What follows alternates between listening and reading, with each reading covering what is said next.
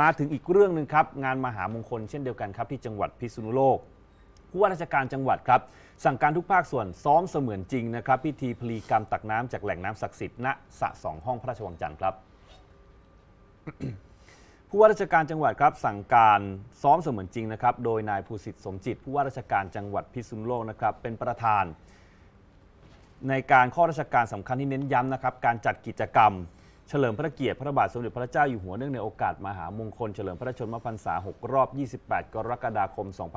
2567 แจ้งให้ทุกภาคส่วนครับซ้อมเสมือนจริง พิธีพลีกรรม ตักน้ำจากแหล่งน้ำศักดิ์สิทธิ์ซ้อมเสมือนจริงนะครับ สวมใส่เสื้อสีเหลืองตราสัญลักษณ์ในวันอังคารที่ 2 กรกฎาคมศกนี้ นัดหมาย 13 นาฬิกานะครับ